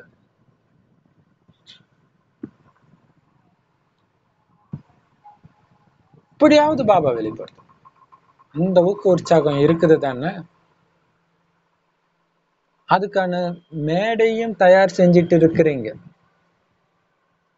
பிரத்யக்ஷத்தின் கொடியை பிரத்யக்ஷம்னா வெளிப்படுத்துறது. அதாவது பாபா வெளிப்படுத்துற அந்த கொடியை பறக்க விடுறதுக்கான மேடையை தயார் செஞ்சுட்டு இருக்கிறீங்க. மற்றபடி ஸ்தூல கொடிய பாபா குழந்தைன்னா அஞ்ஞானி கூட தான் ஏத்தும். அதனால நீங்க எந்த கொடிய பறக்க விடணும்? துணினாலான கொடியையா? துணியினாலான கொடியும் ஏத்துறீங்க. அது ஒரு காரணத்துக்காக. ஆனா உண்மையிலே எந்த கொடியை நீங்க பறக்க விடணும்? அப்பாவை வெளிப்படுத்துறோம் அப்படிங்கிற கொடிய அப்பா வந்திருக்கிறாருன்ற இந்த செய்தியை பரப்புற கொடிய பறக்க விடுங்க. சூப்பர் இல்ல. இது ஒவ்வொரு தடவையும் சர்ச்சை தாண்டும் போதெல்லாம் அப்படியே மனசு என்னமோ பண்ணும். எங்க ஏரியால இருக்கிற சர்ச். ஆக்சுவலா அது ரெண்டு கிலோமீட்டர் அண்ணாண்ட இருக்கு அந்த சர்ச்சு. அந்த சர்ச்சில் என்ன பண்ணியிருக்கிறாங்கன்னா ஒரு மணி நேரத்துக்கு ஒரு தடவை அந்த பெல் அடிக்கும். பெல் அடிச்ச உடனே வாசகம் ஓடும் பைபிள் வாசகம். ஸோ அது கண்டிப்பா இழுக்குது. நிறைய பேர் இழுக்குது. அதுவும் மனசு பாரமா இருக்கிற அந்த பக்கம் போகும்போது நமக்கு ஏதாவது கிடைக்குமான்னு போது அதை கேட்டு அவனுக்கு தேவையானது கிடைச்சிச்சுன்னா அவன் மதம் மாறிடுவான். ஆனா நம்ம கிட்ட எவ்வளவு ஞானம் யாட ஞானமே வேண்டாம்ப்பா. கடவுள் வந்து விட்டார். தயவு செய்து வந்து பாருங்கள். செக் பண்ணுங்கள் மட்டும் போடுங்களாம். ஒரு நாள் இல்லைனாலும் ஒரு நாள் வருவாங்களா? அப்ப ரெண்டு கிலோமீட்டருக்கு அண்ணாண்ட இருக்கிறது இங்க கேக்குது. ஒரு மணி நேரத்துக்கு ஒரு தடவை அதுவும் குறிப்பா காலையில சாயங்காலம் வந்து தெளிவாவே கேட்கும் இப்ப இது இது எவ்வளவு வாய்ப்பு? இல்ல. சோ இதை நம்ம இது இல்லாம பாபா ஞானம் நிறைய இருக்குது. சோ அதை பண்ணலாம். அதுக்கு எப்படி பர்மிஷன் வாங்கணுமா அதுக்கு பர்மிஷன் கூட தேவையில்லைன்னு தான் நினைக்கிறேன். அது பார்த்தா என்ன ஒரு ஒரு நிமிஷம் தான் வரும்னு நினைக்கிறேன். ஸோ அந்த மாதிரி நம்ம பண்ணலாமே.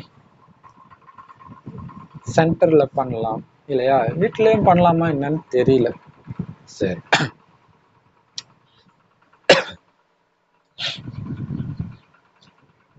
ஸோ வீட்டில் கூட பண்ணலான்னு தான் நினைக்கிறேன். இல்லை? சூப்பராக இருக்கும். அப்போ பாபா குழந்தைங்க ஒவ்வொருத்தர் வீட்லேயும் இது இருந்தா எவ்வளோ சூப்பராக இருக்கும். ஸோ அதுக்கு ஏதாவது லீகல் ஃபார்மாலிட்டிஸ் இருக்குதா அப்படின்னு அது தெரிஞ்சவங்க அவசியம் சொல்லுங்க. அது ஒன்றும் பிரச்சனை கிடையாது. லீகலாக எந்த ப்ராப்ளமும் இல்லைன்னா நம்ம அது பண்ணலாம். இல்லையா? ஸோ அது எப்படி பண்ணுறதுன்னு தெரியல. சரி ஓகே இந்த கொடியை பறக்க விடுங்க. இல்லையா? நம்ம பாபா கொடி பறக்க விடுறோம். அது வந்து பிரம்மகுமாரிகளுக்கு வழி காட்டுற மாதிரி இருக்குது. எல்லாம் அதான் சொல்றாங்க. அதை வச்சாதாங்க பார்த்துட்டு வருவாங்க. யாரு? பிரம்மகுமாரிகள். அதே மாதிரி லக்ஷ்மி நாராயண போட்டோ இங்க அப்பதான் ஒரு பிகே வந்தாங்கன்னா நம்ம பிகேவுக்கா சேவை பண்ணிட்டு இருக்கிறோம். பிகேவுக்கு பண்றது பாலனு. இல்லையா? சேவை கிடையாது. அஞ்ஞானிகள் வரணும். அஞ்ஞானி அந்த கொடியை பார்த்தா இது ஏதோ புதுசா ஒரு கட்சி ஆரம்பிச்சிருக்கான் நம்மளுக்கு நம்ம பாட்டுக்கு போயிடுவோம் ஸோ அது பாபா சொல்றாரு அது வைக்கிறோம். ஓகே செய்தி மக்களுக்கு தெரியப்படுத்துற மாதிரி விஷயம். பாபா பலகை வைக்க சொல்லியிருக்கிறாரு. நேம் பேர்டு வைக்க சொல்லியிருக்காரு. ஏதாவது பண்ணிக்கிட்டே இருக்கும் இப்ப ரெண்டு நாள் முன்னாடி ஒரு சிஸ்டர் ஆக்சுவலா பாத்தீங்கன்னா அவங்க ஹஸ்பண்ட் அடி அடின்னு அடிச்சுக்கிட்டே இருக்கிறார். பயங்கரமா அடிக்கிறார். அவங்க டக்குன்னு கால் பண்ணி பிரதர் எங்க வீட்டுல எல்லா இடத்துலயும் வந்து இந்து முன்னணிக்காரங்க வந்து அந்த கீதாச்சாரம் அது வந்து எல்லா இடத்துலையும் ஸ்டிக்கர் ஒட்டுறாங்க. நம்ம ஏன் அப்படி ஒட்டக்கூடாது? பாருங்க அடிச்சதெல்லாம் அவங்களுக்கு பெரிய விஷயமா தெரியல. அப்பயும் அவங்களுக்கு இந்த போதை தான் இருக்குது பாரு. இல்லையா? சோ அதுதான். பாபா சொன்னாலே இல்லையா ஞான விளையாடுற குழந்தைக்கு சுத்தி இருக்கிறது எதுவுமே தெரியாதுன்னு. அந்த மாதிரி இருக்கிறாங்க. ஸோ அது மாதிரி நம்ம பண்ணணும். நிறைய வழி இருக்குதா? ஒண்ணுமே கிடையாது. அதாவது புதுசா பண்ணுங்கன்னு பாபா சொல்றாரு. பாபா குழந்தைங்களுக்கு தான் புதுசு. அஞ்ஞானிகள் ஆல்ரெடி பண்ணிட்டு இருக்கிறாங்க மற்ற மதத்தினர். அதை நம்ம அப்படியே ஃபாலோ பண்ணா கூட போதும். இப்ப கிறிஸ்தவர்கள் அது மாதிரி ஒட்டுறாங்கன்றதுனாலதான் ஆதங்கத்துல இந்து தர்மத்தை சார்ந்தவர்கள் வந்து இதை ஒட்டுறாங்க. நம்ம அவங்க பண்றத கூட பண்ணல இல்லையா? சோ அதை பண்ணலாம். அதுக்கு செலவு கூட ஒன்றும் பெருசா ஆகாது. அவங்கவுங்க அவங்கவுங்க ஊருக்கு ஓட்டினாலே போதும். அப்ப செலவு ஒன்றும் பெருசா ஆகாது. இல்லையா? சரி. ஆக்சுவலா நோட் நோட்டீஸ் அடிச்சு அதை கூட கம்மு தடவி ஒட்டிக்கலாம்னு நினைக்கிறேன். ஸ்டிக்கரா ஒட்டினா எவ்வளவு ஆகும்னு தெரியல. கொஞ்சம் அதிகமா இருக்கும். ஸோ அதனால அப்பா வந்துட்டாருன்ற செய்தியை தெரிவிக்கிற கொடியை பறக்க விடுங்க. அந்த ஒரு எண்ணம் தானே இருக்கு. அது ஊ- அதுல ஊக்க உற்சாகம் இருக்குது தானே? இதுக்கான ஏற்பாடுகளை செஞ்சுட்டு இருக்கிறீங்களா? அதாவது செஞ்சுட்டு இருக்கிறீங்க தானே? அப்படி கேக்குறாரு. செய்யுங்கன்னு சொல்லல. பாபாவுடைய பாஷை அப்படி யார் மனசையும் கஷ்டப்படுத்த மாட்டாரு இல்லையா?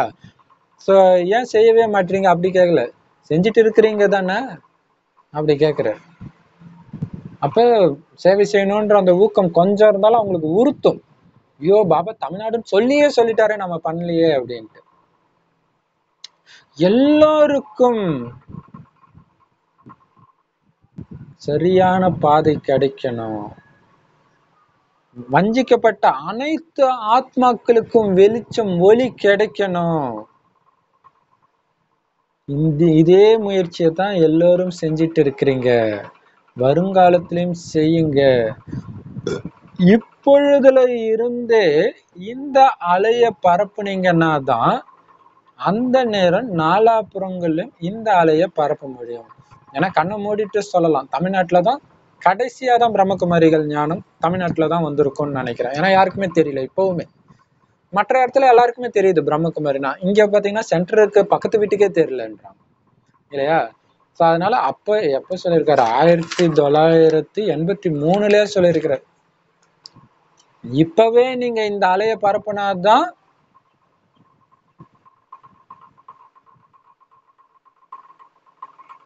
அந்த நேரம் இந்த அலையை பரப்ப முடியும் அப்படின்னு சொல்றாரு.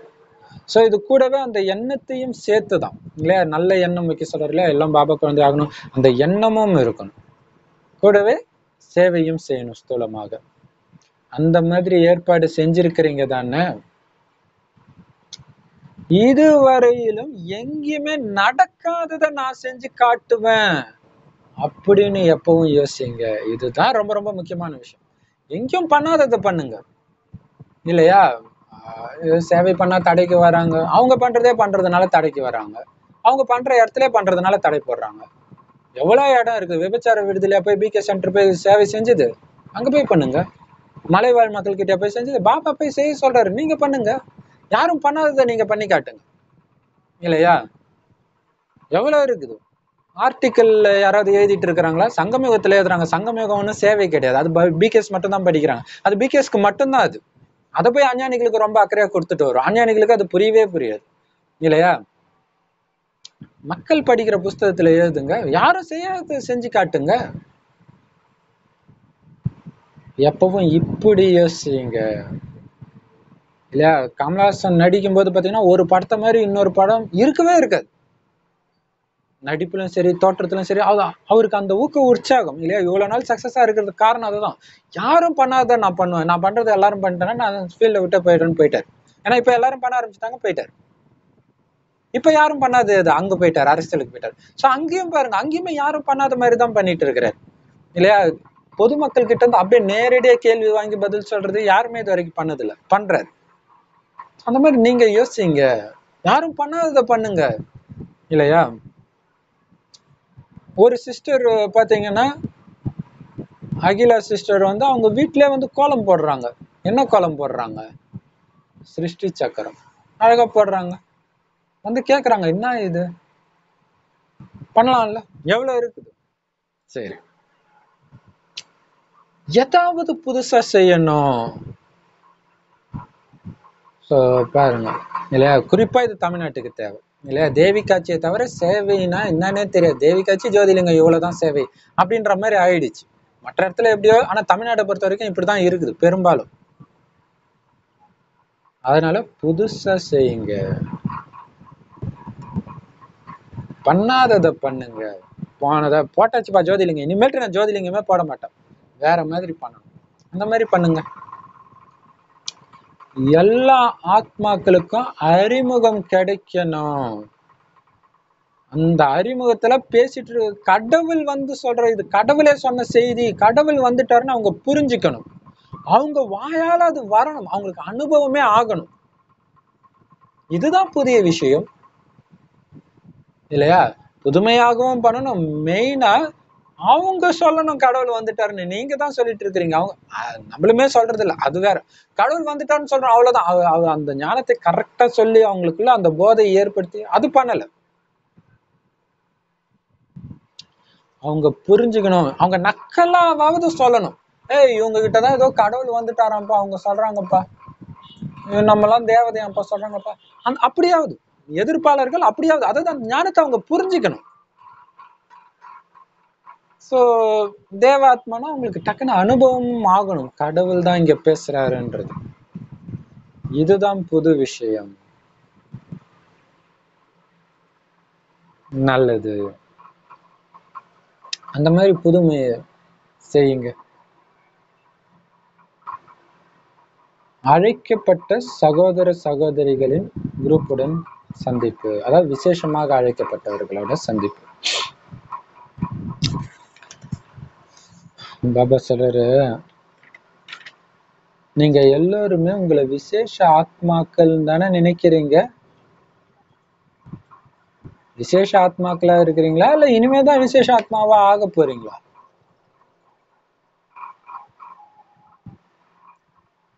செய்வோம் பாபா பார்ப்போம் பாபா யோசிப்போம் பாபா. அந்த மாதிரி மொழி பேசுறவங்க இல்ல தானே?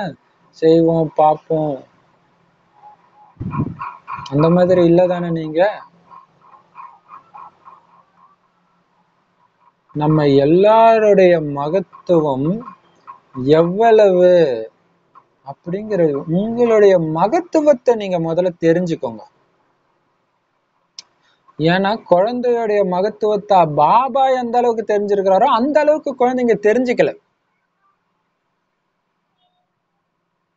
குறிப்பா நினைவு செய்யறது இல்ல தங்களுடைய மகத்துவத்தை. தெரிஞ்சு இருந்தாலும் நினைக்கிறது இல்ல நான் எவ்வளவு பெரிய என்னை நம்பிதான் இருக்குது. இப்போ ஒரு கோயிலுக்கு போறீங்க. இல்லையா? அந்த கோயிலுக்கு போறீங்க அப்படின்னாலே தடை வரும். ஆனா இது என்னுடைய கோயில். நான் செஞ்ச சேவையினாலதான் இது இருக்குது. இதுக்கு நான் சேவை செஞ்சே தீருவேன். அப்படி இருக்கணும் உங்களுக்கு. ஏன்னா என்னை விட்டா யாரும் கிடையாது. அப்படி மைண்ட்ல இருக்கணும். அதுதான் சேவையின் பொறுப்புன்ற கிரீடத்தை அணிஞ்சுக்கோங்க. நம்பர் ஒன் செய்யறதுல நான் தான் அர்ஜுன். அந்த மாதிரி. புகழ் யாருக்காவது போட்டும். ஆனா செய்யறதுல நான் தான் நம்பர் ஒன்னா இருக்கணும். அது இருக்கணும். ஸோ உங்களுடைய மகத்துவம் நீங்க தெரிஞ்சுக்கோங்க. நினைவு செய்யுங்க. இந்த உலகத்தின் ஆதாரமூர்த்தி நீங்கன்றத ஞாபகப்படுத்திக்கிட்டே இருங்க. ஆனா நீங்க ஞாபகப்படுத்துறது கிடையாது. அடிக்கடி நினைக்கிறது கிடையாது. ஸோ ஞான சிந்தனைன்றது இதுவும் தான். ஒருவேளை நினைவு இருக்குதுனால இங்க ஞான சிந்தனைனால என்னத்த? ஞானத்தை நினைக்கிறது. திரும்ப திரும்ப நினைக்கிறது.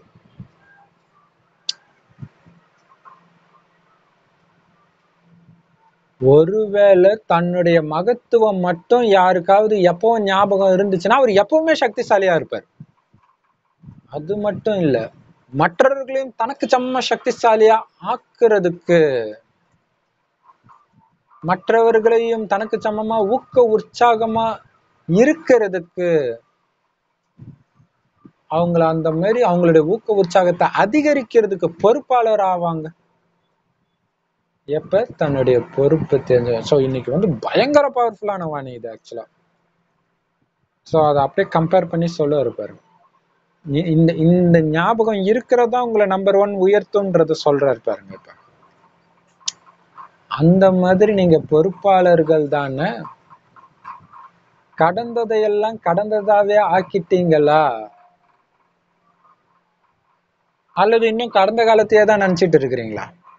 கடந்த காலத்துடைய உறவுகள் கடந்த காலத்துடைய பழக்கங்கள் சமஸ்காரங்கள் சமஸ்கார மோதல்கள் இதே தான் நினைச்சிட்டு இருக்கிறீங்களா? கடந்ததை மறந்துட்டீங்க தானே மறந்து நிகழ்காலம் எதிர்காலத்தையே நிரந்தரமா ஊக்க உற்சாகம் உள்ளதா ஆக்கிட்டீங்க. இப்ப நிகழ்காலமும் எனக்கு குஷி குஷியா இருக்கும் எதிர்காலமும் குஷி குஷியா இருக்கும். கடந்த காலத்தை நினைச்சா குஷி போயிடும். சோ அதை மறந்துட்டீங்க.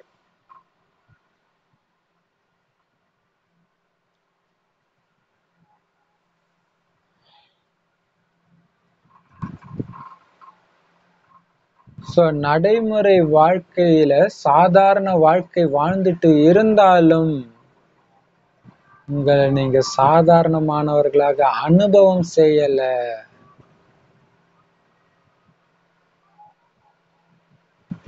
Sorry sorry. பாபா சொல்றாரு. நடைமுறையில நீங்க எப்படி இருக்கிறீங்கன்னா சாதாரண வாழ்க்கை வாழறவரா தான் உங்களை அனுபவம் செஞ்சுட்டு இருக்கிறீங்க. அதான் பாபா சொல்றாரு உங்களுக்கு நினைவு இல்ல உங்களுடைய மகத்துவம் உங்களுக்கு புரியல நீங்க உங்களை சாதாரணமா புரிஞ்சுக்கிட்டீங்க. ஆனா நீங்க சாதாரணமானவர்கள் இல்ல. இது மைண்ட்ல இருந்துகிட்டே இருக்கும் இதுதான் உங்களை எப்படிப்பட்ட காமத்தின் ரூபத்தையும் கோபத்தின் ரூபத்தையும் பற்றின் ரூபம் பேராசை அகங்காரம் பொறாமை அனைத்து ரூபத்தையும் அழிக்க முடியும் ஒரு வினாடியில. நான் சாதாரணமானவன் இல்ல. நான் சாதாரணமானவன் இல்லை. எப்பொழுதுமே சிரேஷ்டமானவர்கள் எப்பொழுதுமே உயர்ந்தவர்கள்.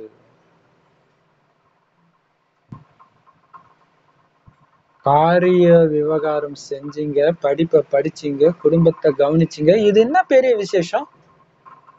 எல்லாரும் மாதிரி நீங்களும் வேலைக்கு போனீங்க படிச்சீங்க குடும்பத்தை கவனிச்சீங்க இதுல ஒண்ணும் விசேஷமே இல்லையே.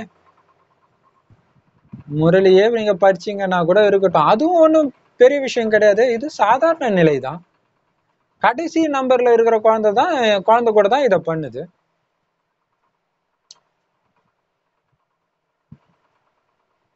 கடைசி நம்பர்ல இருக்கிறவர் பண்றதே தான் ஆதி ரத்னமும் பண்றாருன்னா அதுல என்ன விசேஷம் இருக்குது? என்ன வித்தியாசம் இருக்கு? ஆதி ரத்தினம்னா ஒவ்வொரு எண்ணம் மற்றும் பாருங்க இது வந்து பாபா தாதிங்க அவங்களெல்லாம் கூப்பிட்டு பேசுறாரு. ஆதி ரத்தினம் ஆதியில் வந்தவர்கள். சரி அவங்களுக்கு தான் சொல்றேன்னு நினைச்சுக்கூடாது. எனக்கு சொல்றாரு. ஆதியில் வந்த ரத்தினம்னா சொர்க்கத்துல முதல்ல வரவங்களும் ஆதி ரத்தினம் தானே? இல்லையா? அது நான் எனக்கு சொல்றாருன்னு புரிஞ்சுக்கணும். அதுலதான் சொல்றாரு. முதல்ல வரவங்க கடைசியில வரவங்களும் ஒரே மாதிரி இருந்தா என்ன அர்த்தம்ன்றாரு. சத்தியுகத்தில் முதல்ல வரவன் நான் என்கிட்ட சொல்றாரு. அவங்க பண்றதே தான் நானும் பண்றேன். வரேன் முரளி கேட்கறேன் போறேன். அவ்வளவுதான். முரளி எந்த வேலையுமே பண்ணல. உங்களுக்கும் எந்த வேலையுமே பண்ணலன்னா என்ன வித்தியாசம்? என்ன விசேஷம் உங்களுக்கு? ஆதி ரத்தினம்னா அவங்க நினைக்கிற ஒவ்வொரு எண்ணமும் அவங்க செய்யற ஒவ்வொரு செயலும் மற்றவங்களை விட விசேஷமாக தனித்தன்மை ஜொலிக்கணும்.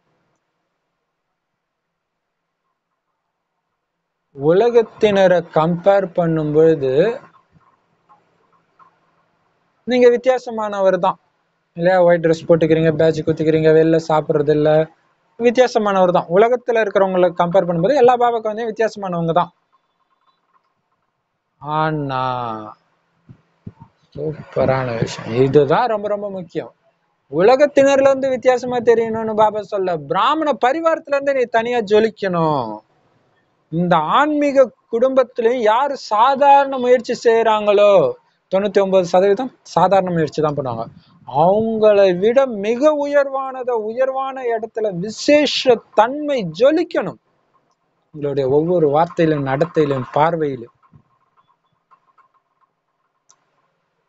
உலகத்தின் கணக்குப்படி உலகத்தோட கம்பேர் பண்ணா பாபா குழந்தையில கடைசியில இருக்கிற கூட விசேஷமான குழந்தை தான் அது பாபா சொல்லியிருக்காரு.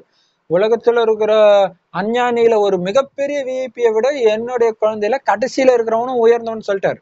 அதான் சொல்றாரு. அந்த அர்த்தத்துல வந்து கடைசியில இருக்கிறவங்களும் விசேஷமானவர் தான் ஆனா இந்த ஈஸ்வரிய குடும்பத்துக்குள்ள ஆதி ரத்தினமாகிய நீங்க விசேஷமானவர்கள்.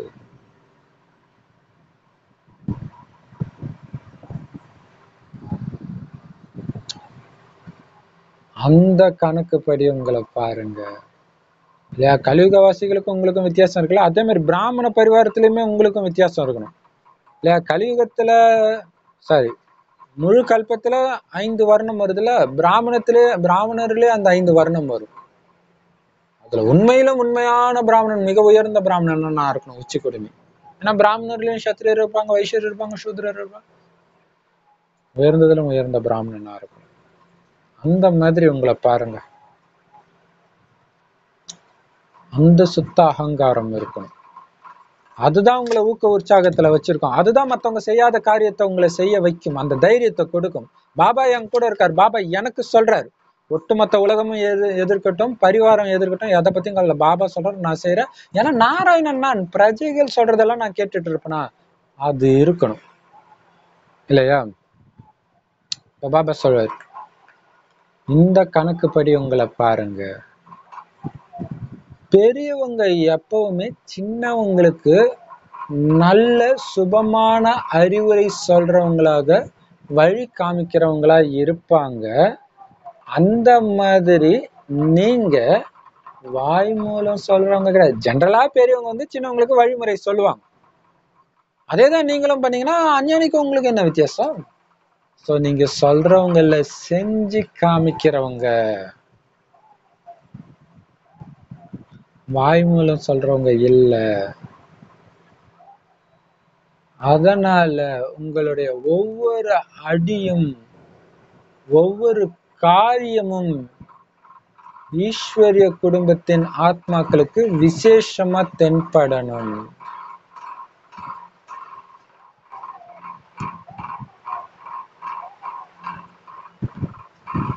இதுதான் விசேஷ ஆத்மாக்களின் கடமை இல்லையா?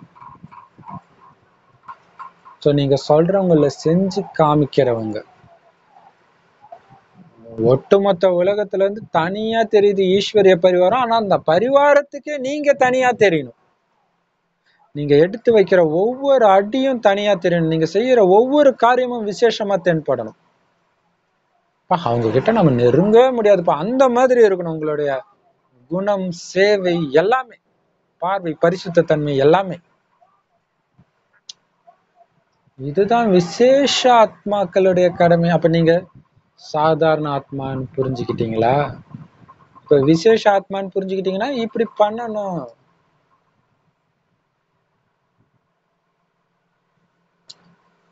விசேஷ ஆத்மாக்களாகிய உங்களை யாரு பார்த்தாலும் அவங்களுக்கு பாபாவுடைய ஞாபகம் வந்துடணும். சமசுப் இல்லையா? இங்க மதுபன்ல பார்த்தா கூட சாக்கார ரூபத்துல தீதி தாதி இவங்களெல்லாம் பாக்குறீங்கன்னா அவங்க செய்யற காரியத்துல என்ன நிரம்பி இருக்குது விசேஷமா? அப்பா தெரியறார் அந்த விசேஷம் நிரம்பி இருக்கு அவங்க பண்ற மாதிரி தெரியல. பாபாவே அவங்க உடம்ப பயன்படுத்தி பண்ற மாதிரி தெரியுது. சோ அதுதான் விசேஷம். பாபா தான் தெரியணும். நீங்க பேசுற வார்த்தை பாபாவை ஞாபகப்படுத்தணும். நீங்க இனிமையா பேசுறது பாபா ஞாபகப்படுத்தணும். ஆ பாபா இப்படி தானே இருப்பாரு. சோ மற்றவங்க கிட்ட வீண் விஷயம் பேசுறவங்க கூட உங்ககிட்ட வந்தா கரெக்டான விஷயத்த பேசணும்.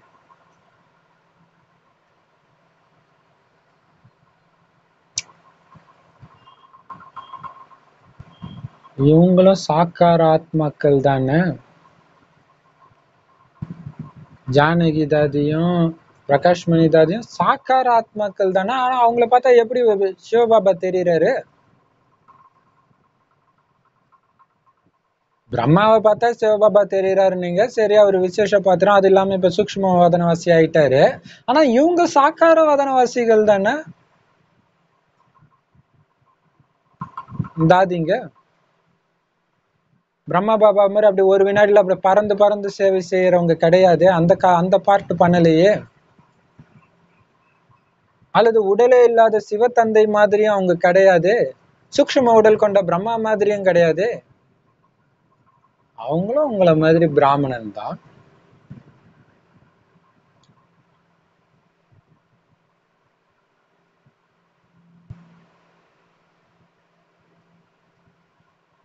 அவங்க விசேஷமாக பொறுப்புல இருக்கிற ஆத்மாக்கள்.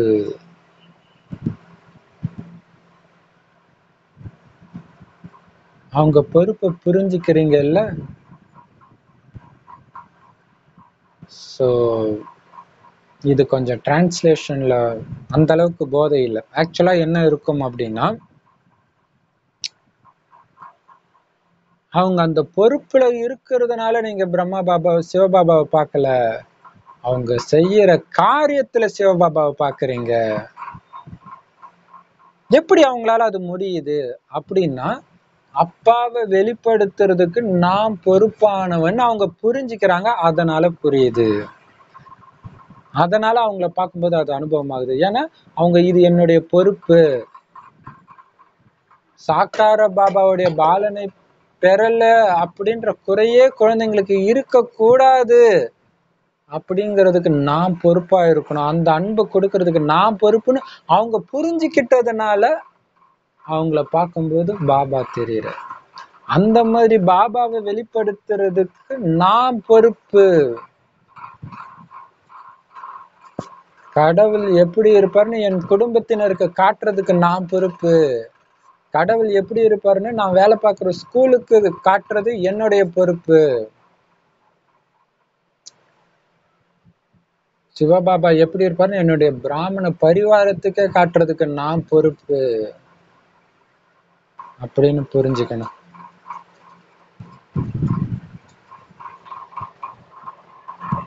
அந்த பொறுப்பு தான் அவங்கள அப்படி ஆக்கிச்சு. அதே பொறுப்பு உங்களுக்கும் இருக்குது. அத புரிஞ்சுக்கோங்க.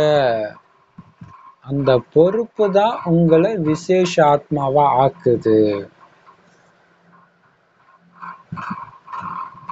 இல்லையா? சோ அது அது நம்ம புரிய வைக்கணும். ஒரு ஒரு ஒரு பாபா குழந்தை ஒட்டுமொத்த குடும்பமும் பாபா குழந்தை ஆயிடுச்சு அப்படின்னா அந்த வீட்டுல எப்படி இருப்பாங்க எல்லாருமே அப்படியே பாபா சொல்ற மாதிரி நடந்துக்குவாங்க. ஆனா உங்க வீட்டுல நீங்க மட்டும்தான் பாபா குழந்தை யாருமே ஆகல. அது மட்டும் இல்லாம தொல்லையும் கொடுக்குறாங்கன்னே வச்சுக்கோங்களேன். ஆஹ் அப்படி இல்லாட்டினாலும் அந்த வைப்ரேஷன் எல்லாமே மாறும். ஆனா தொல்லையே கொடுக்காத குடும்பத்துல எல்லோரும் பாபா குழந்தை ஆன குடும்பத்துல இருந்தா நான் எப்படி நடந்துக்கணும்? அதே மாதிரி இங்கேயும் நடந்துக்கணும். அப்பதான் அவங்க பார்ப்பாங்க ஸோ அதுல கவனம் வைக்கணும்.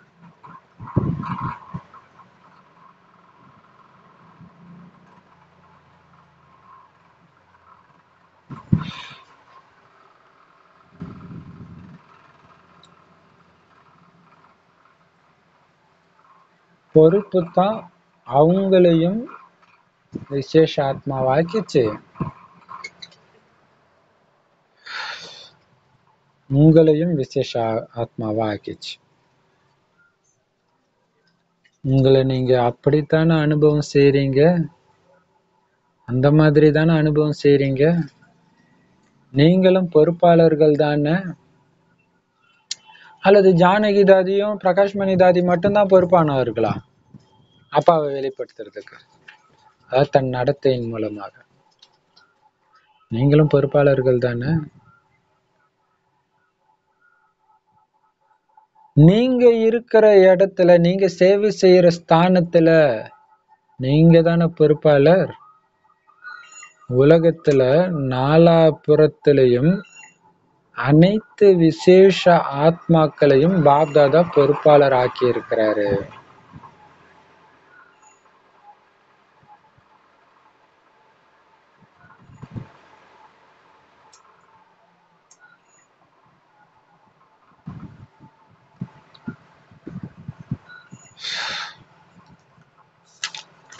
சிலர் ஒரு இடத்திலையும்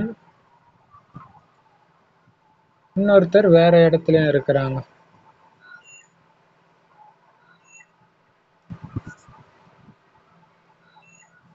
இந்த அளவுக்கு எப்பவுமே உங்களுடைய பொறுப்பு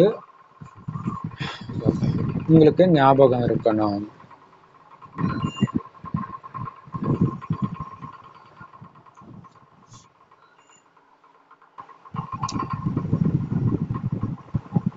ஸோ நான் இருக்கிற இடத்துல இப்போ ஒரு உதாரணத்துக்கு ஜானகிதாதி அல்லது அங்கே பொறுப்பில் குறிப்பாக ஜானகிதாதிக்கு அவங்க எப்பவுமே பக்காவா இருப்பாங்க. பட் இருந்தாலும் நம்ம பாப்தாதா மீட்டுக்கு போகும் பொழுது அவங்களுக்கு தெரியும். இத்தனை குழந்தைங்களும் என்னை பார்ப்பாங்க. தன்னுடைய ரோல் மாடலா நினைப்பாங்க. பாபாவை பார்க்காத ஏக்கத்தை இவங்கள பார்த்து தனிச்சுக்கணும்னு நினைப்பாங்க. அவங்களுடைய ஏக்கத்தை தணிக்கிறது என்னுடைய பொறுப்பு அப்படின்ற ஞாபகம் இருக்கும். அதே மாதிரி நம்மளும் நடந்துக்கணும்.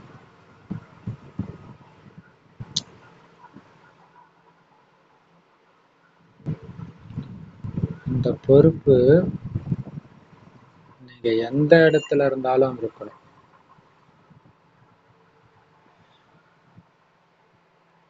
இதுல மதுபன்ல தாதி இருக்கிறாங்க. நீங்க உங்க இடத்துல இருப்பீங்களே அங்க நீங்க தாதி. அப்படி புரிஞ்சுக்கோங்க. அப்படின்னா என்ன அர்த்தம்? அப்பாவை வெளிப்படுத்துறதுக்கு நான் பொறுப்பாளர். அப்படிங்கிற ஞாபகம் இருக்கணும்.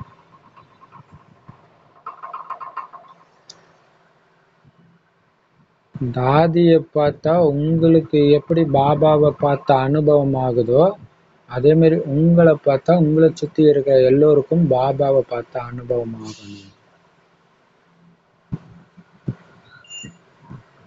உங்களை பார்த்தாலே இவங்க ஆதி ரத்தனம்.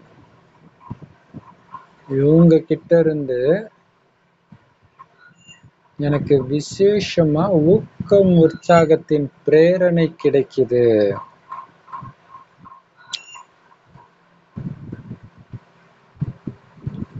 அவங்க தங்களை தீதி தாதின்னு சொல்லிக்கல. நான் அந்த பொறுப்புல இருக்கிறேன். நான் சொல்றத நீங்க ஏத்துக்கணும் அப்படின்னு அவங்க சொல்லல. ஆனா அவங்க செய்யற காரியம் இயல்பாகவே உங்களை கவர்ந்திழுக்கும். அந்- அதே மாதிரி உங்க எல்லாருடைய விசேஷ காரியம் எல்லோரையும் கவர்ந்து இழுக்கட்டும். அப்படி எல்லோரையும் கவர்ந்து இழுக்கிற பொறுப்பு உங்களுக்கு இருக்கு. இல்லையா